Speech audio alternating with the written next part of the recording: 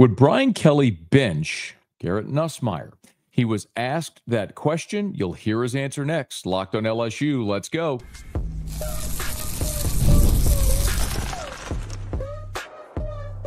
You are Locked On LSU, your daily podcast on the LSU Tigers.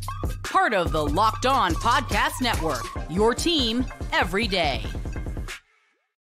Okay, let's get it. It is Locked on LSU, your team every day. I'm your host, Matt Moscona. Thanks for making us your first listen every day. We are free, available wherever you get podcasts. Of course, on YouTube as well. So please subscribe. And if you're on YouTube, please smash that like button. And as always, one of the fastest ways to help us grow is to leave your comments below. Billy Napier updates DJ Lagway's injury on Wednesday. We'll let you hear what the Florida coach had to say. But Brian Kelly was also asked a question that many people have wondered over the last, I hate to even say two games, really over the last five and a half quarter, uh, quarters. As the turnovers have come for Garrett Nussmeier, uh, many LSU fans have looked longingly to the bench. I'm not saying that's the right decision in any way, but Brian Kelly was asked the question Wednesday on the SEC coaches teleconference by the Advocate's Wilson Alexander. With Garrett Nussmeier lately, the interceptions and turnovers, is there any consideration being made to a quarterback change? No, absolutely none. He gives us the best chance to be successful. And, you know, that's kind of where we're at relative to first or second. We have to do a better job for him. He's got to do a better job. And we believe in him. And we believe that as we continue to grow in the first year of a starter, that he gives us the best chance to be successful. Brian Kelly is 100% right. I know a lot of people have looked to the sideline and said, man, if Nuss keeps turning the ball over, should you bench him? Is it time to play the backup? Uh, the answer is unequivocally no. It's not even close. Now, let me first lay this out, okay? The backup is Ricky Collins. Ricky Collins is a redshirt freshman. On the season, Ricky Collins has attempted five passes. Now, he's completed all five of them, with a long of 12 yards. He's also run four times for 18 yards with a long of 11. Mop up duty for Ricky Collins. Why in the world?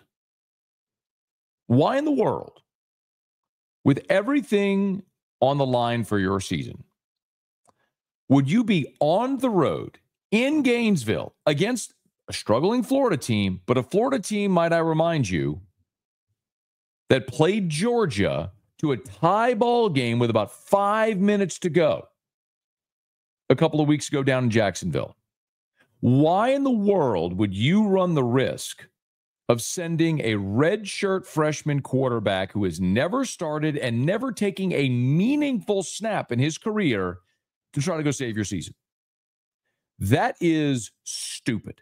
There is no other way around it. Let me also put some context around Nussmeier who right now is sitting at 2,866 yards. If the season ended today, Garrett Nussmeier's season today through nine games will be the seventh greatest passing season in LSU history, just ahead of Matt Mauck's 2003 season when LSU won the national championship. Garrett Nussmeier, as he is pacing, should finish behind only Joe Burrow's 2019 season, where he threw for 5,600 yards in 15 games, and Jayden Daniels a year ago, who threw for 3,800 yards. Nussmeier's trending to pass Zach Mettenberger's 3,000 yard season in 2013 and Rohan Davey's amazing 2001 season. So He's also got 21 touchdowns. Might I also remind you that five and a half quarters ago, LSU had won six straight games. They had blown out, or they had beaten Ole Miss. They had blown out Arkansas, and they were up double digits on the road against Texas A&M in a battle of the only unbeaten teams in the conference. And a giant part of that, as LSU's head coach said, is that you're asking Garrett Nussmeier to quote stand on his head. You have no running game to speak of. It's been disappointing in that respect from your offensive line. your true game breaking deep threat receiver, has been hurt all year. The reason you are even in the position you are in is because Garrett Nussmeier has been otherworldly good this year. So much so that you look at mock drafts and he is littered in the first round of these mock drafts. He's played himself into that perspe- uh, into that projection. It's not been great the last two games. I understand that fully. The turnovers are a problem. And if you go to Gainesville and turn the ball over, you're going to lose. But why in the world would you trust a redshirt freshman who's never taken a meaningful snap to go try to win you a game in Gainesville? That doesn't make a lick of sense whatsoever. So, no, you're not going to bench Garrett Nussmeier. You shouldn't bench Garrett Nussmeier. And anyone who suggests you might even consider benching Garrett Nussmeier needs to have their head examined because he's a veteran player. You've ridden with him all, all season long.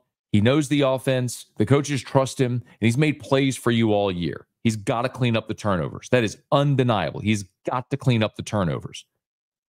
So work with Garrett Nussmeier on cleaning up the turnovers instead of turning over the offense to a brand new quarterback. Let me remind you what just happened in Oklahoma, where they had a quarterback there who led them to a 10 win season.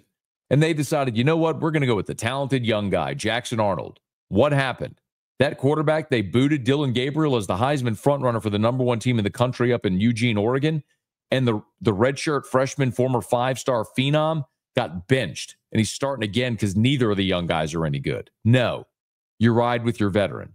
So, how do you coach these interceptions out of a young player? Here's Brian Kelly. If we're not seeing things the way we need to, then we're doing too much, right? It's always been my experience in 30 plus years of coaching that if it's not resonating, then you need to do less. Less is more. All right. Then there's always there's a place to start. It's not the interception. It's where are we starting? And generally it's it's the basics, it's the fundamentals. So I think in in everything in life we go back to the fundamentals. And so, you know, can we make things easier from a coaching standpoint that allows us to be consciously competent to the level of, you know, an unconscious competent where I don't even have to think about it. I know it so well. I mean, that's where we want to get to. Florida is also 93rd in the country in pass defense. You should, should have a lot of success throwing the football against that defense on Saturday in the swamp. Garrett Nussmeier goes and protects the football like he's done for a chunk of this season. You should go have a lot of success against the Gators. Now, the other big question is who's going to be under center for the Gators? We got a DJ Lagway injury update. We'll get to that next locked on LSU, your team every day.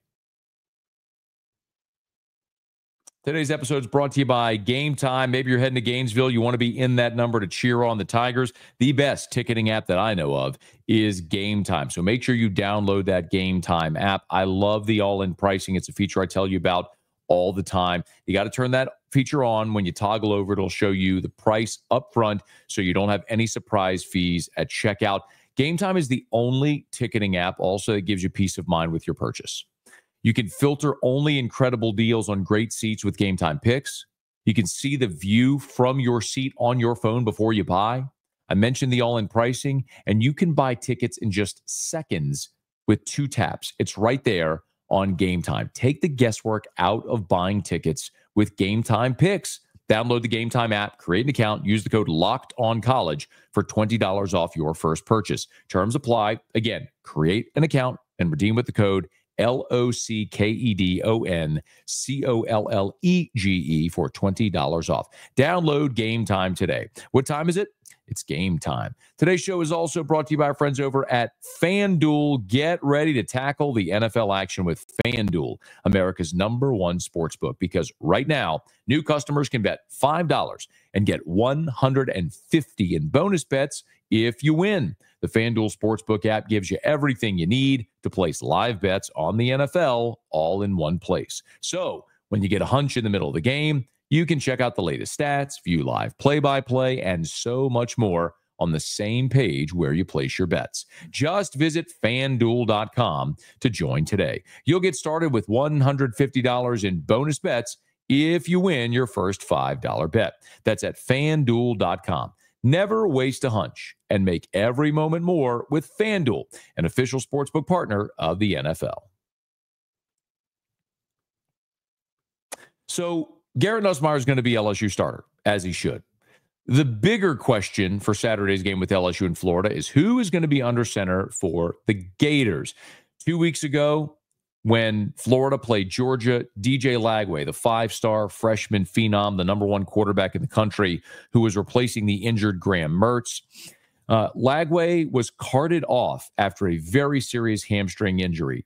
Earlier this week, we played for you comments from Lagway's mother on a podcast where she said she was shocked that he even dressed uh, for the game against Florida. Very likely that was a situation where Lagway, who's from Florida, excuse me, Texas, who's from Texas, wanted to dress for Florida against his home state school with a lot of friends and family uh, in attendance at that game at uh, Darrell K. Royal Memorial Stadium in Austin. So I think, personal opinion, it is highly unlikely that we see DJ Lagway play against LSU. But Billy Napier had an update Wednesday morning on the SEC coaches teleconference. DJ continues to improve. You know, I, mean, I think we've seen progress every day, uh, and I think that's allowed him to participate more in practice. Uh, obviously, we're kind of controlling that environment, but in general, I think we continue to trend in the right direction. Trending in the right direction, which makes sense. Every day, you're going to get better. Now, he is officially on the participation report listed as questionable for the game Saturday against LSU. Listen, you don't have to be an orthopedist or any type of physician to know. You watch sports, or if you've had an, a soft tissue injury, you know that what DJ Lagway went through less than two weeks ago, it'll have been 14 days by the time LSU and Florida kick it off from the swamp. You don't come back from that in two weeks. Not to be 100% full speed with a hamstring injury like that, where you have to be carted off the field. It wasn't a tweak, as was a strain. He was carted off the field. That injury was so severe. So, do we really believe he's going to be ready to go f- or full ready to go full speed or anything close to it against LSU? That's unlikely. Now, Billy Napier did give an update also on the growth he's seen from his freshman quarterback from the start of the season, where he was playing a platoon role and a backup role to Graham Mertz, to where now he's the starter when healthy. I think DJ gets better every day. He's obviously gained some confidence. The more weeks that he prepares, the more reps uh, that he gets, the more experience he gets. And then certainly, you know, he's just learning more what it's like out there. You know, I think when you're a young player, and you haven't played a lot, there's some uncertainty about what the games will be like, right? So now that he knows, he's learned the value of preparation, he's learned the value of practice habits, and then obviously he's navigating what it's like to work your way through injuries at this point. So all these things are good for him. You know, he'll continue to get better. And it's also worth noting that Lagway, while he is a, a physically incredibly gifted player, uh, six foot three, 239 pounds. He was a five star, the number one quarterback in the country, and has tremendous upside. And I think he's going to have a fantastic college career. Even when he's been on the field for Florida this year, he hasn't been great. Uh, he's completing right at 60% of his passes, six touchdowns, five interceptions, five interceptions in just 92 attempts. His best game was the game against Kentucky when Florida won that one 48 to 20. Lagway was 7 of 14, just 14 passing attempts, 7 of 14 for 259, and he ran it nine times for 46 yards for an average of five yards per carry.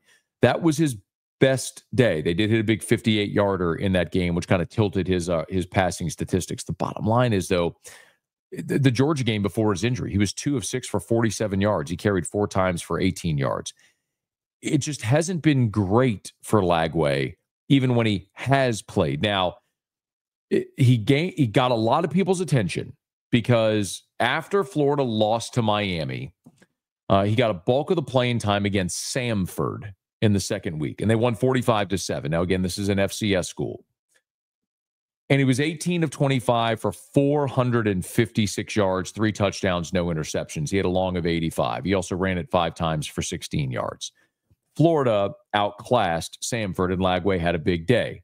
But once he started playing against conference opponents, even just one week later against Texas A&M, where they lost 33 to 20, he was just six of 13 for 54 yards, a touchdown, and two interceptions. He ran four times for negative 20 yards. He came crashing back to earth once he played SEC competition, and that has been more the norm throughout conference play. So even if Lagway does play, even with the issues LSU's had defensively. A 70% DJ Lagway is nothing remotely close to what LSU saw with Marcel Reed coming off the bench and what they saw with Jalen Milroe a week ago in Tiger Stadium.